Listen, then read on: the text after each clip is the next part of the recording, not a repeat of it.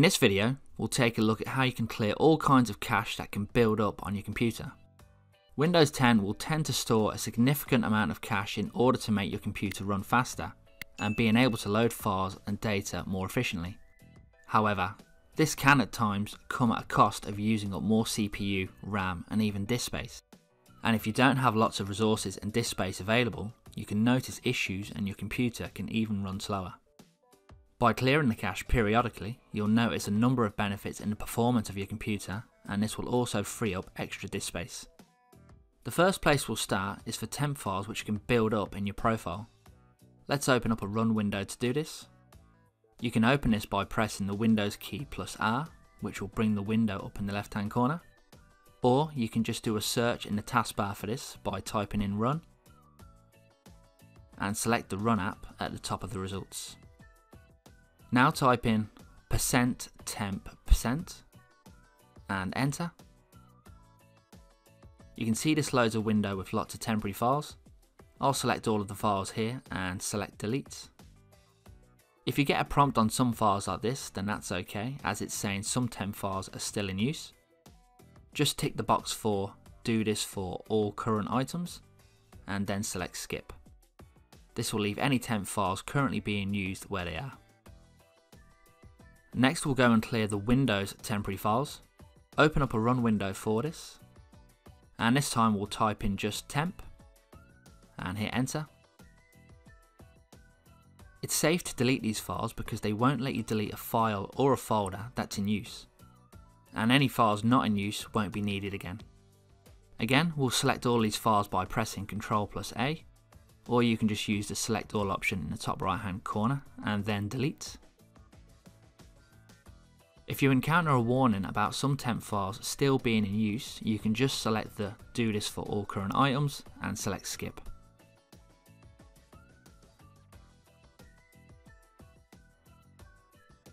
The Windows Store cache is another area that can be cleared.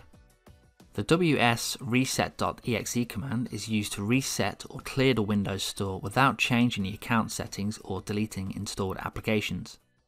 To clear the Windows Store cache, open up a run window and type in wsreset.exe.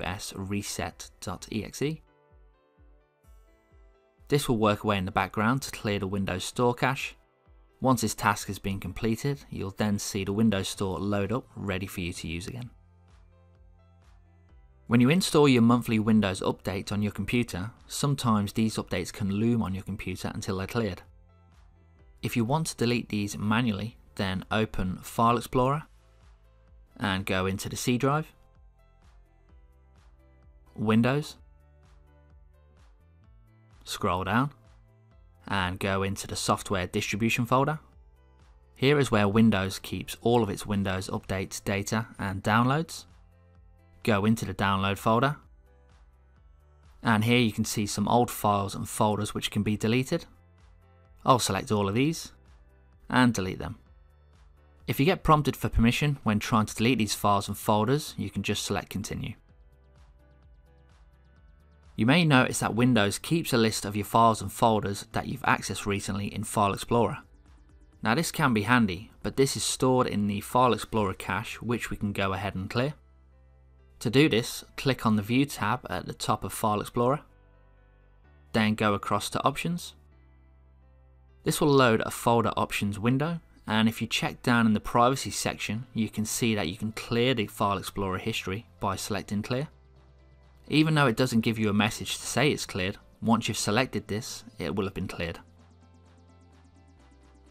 One place where a lot of cache tends to build up is in your web browsers, and it's always good to clear these on a regular basis. I have a few browsers installed, so let's go and open up my first browser, Chrome. Go up to the top right hand corner and click on the three dots. Now go to History then history again. This brings you into the history page for Chrome and you want to go to the clear browsing data on the left hand side. Now this will give you two menus. The first is for basic where you can delete your browsing history, cookies and other site data and cached images and files.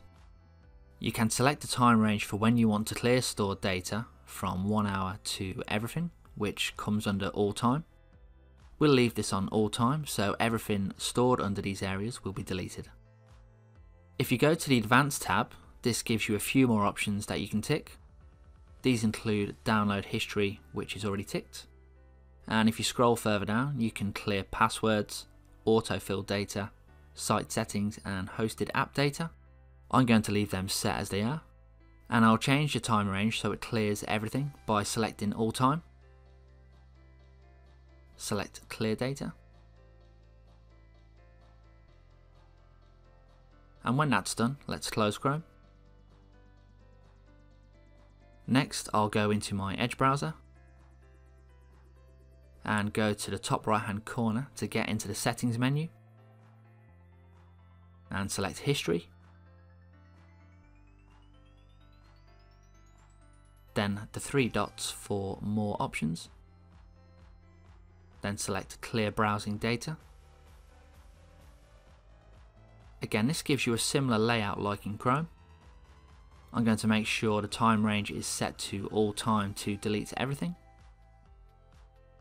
I'm going to leave all default options ticked for browsing and download history, cookies and other site data, and cached images and files. Select clear now. And that's completed. So let's go ahead and close Edge. And we'll go into my final browser, which is Firefox. Go up to the three bars to open the menu. Then down to options. And privacy and security on the left hand side. And if you scroll down the page, you can see the first place you can clear up is for cookies and site data. Select clear data.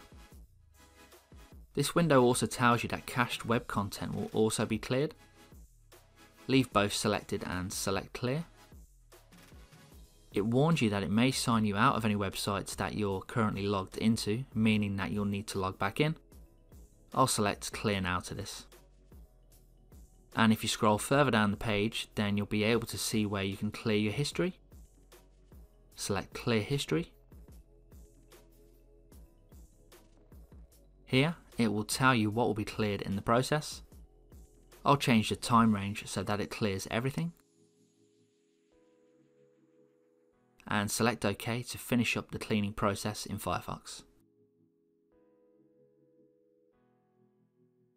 For the next place to clear cache, we'll take a look at the built-in disk cleanup utility within Windows 10. Do a search in the taskbar for disk cleanup and select disk cleanup from the results. Here it gets you to select the drive you want to clean up. My operating system is on the C drive, so I'll select OK to this. A new window will appear and this gives you a number of options to clear up disk space. At the minute it says that I can free up 6.33 gig of disk space on the C drive. The first place we'll go is to select the clean up system files. Again I'll select the C drive for this. This will now go off and calculate how much additional space you will be able to free up on the C drive for system files. This will take a minute or two while it scans for things like device driver packages, language resource files and Windows updates. Now this is only calculating at the minute, and you can see once it's finished it brings you back to the disk cleanup window which now shows that I can free up 11.4 gig from the C drive. So I'll tick the box for Windows Update Cleanup, which will delete old versions of updates that are no longer needed. I'll also select the Windows Upgrade log files, which will give me back an extra 580 meg. Some boxes are automatically ticked like temporary internet files, which are fine. I'll scroll down the list and also tick delivery optimization files. I'll also empty the recycle bin as this will save me 5.15 gig and tick the boxes for temporary files, temporary Windows installation files and user file history. You can tick more boxes for which files to delete, but I've ticked the boxes which will give me the most amount of space back. So in total it says that 11 gig is the amount of space I'll gain. I'll select OK to this. It will give you a warning asking you are you sure you want to permanently delete these files. I'll confirm and select delete these files. Now depending on how many files it's trying to clean, you'll find this may take a while, but once complete, the window will just disappear. Windows likes to keep details of your location history, but you can easily clear this. Go into Start, Settings, Privacy, Location, Then if you scroll down the window, you'll be able to see the location history which is stored on your computer, which can be used by apps that use your location. Select clear to clear the history on this device. Restore points are an area where you can find that you lose a lot of space, and you can retrieve space back if you have too much space allocated for restore points. Do a search for restore in the taskbar, and select the create a restore point from the results. When the system properties window loads, you want to go to configure, which will allow you to configure restore settings, manage disk space and delete restore points. Now you can see that my restore points are taking up 18 gig of space and this number will differ on your computer. If you're happy you don't need the current restore points, you can go ahead and delete all the restore points for this drive. This is useful, especially if you're tight on space. However, you should always have a restore point for recovery just in case you encounter an issue on your computer. You can then change the disk usage that you allocate to your restore points, so pick a percentage that works for you. I'll leave mine on 14% which is just over 20 gig. Now before you close out this area, create a new restore point. I'll just call mine restore point 1 and select create. That will then go off and create the new restore point. Next we'll delete the prefetch files. Prefetch files are created by the operating system each time an application is launched for the first time. These files are designed to make applications open faster, but you can delete these to clear up space. To delete these, go to Run and type in prefetch. This will open the prefetch folder and here you can see all the prefetch files which have a .pf extension. I'll select the files here and delete them. The last type of cache to delete is your DNS cache. The DNS cache refers to the temporary storage of information about previous DNS lookups on a machine's operating system or web browser. Keeping a local copy of a DNS lookup allows your operating system or browser to quickly retrieve it meaning a website's URL can be resolved to its corresponding IP much more efficiently. To delete this cache, go to the taskbar and do a search for command prompt.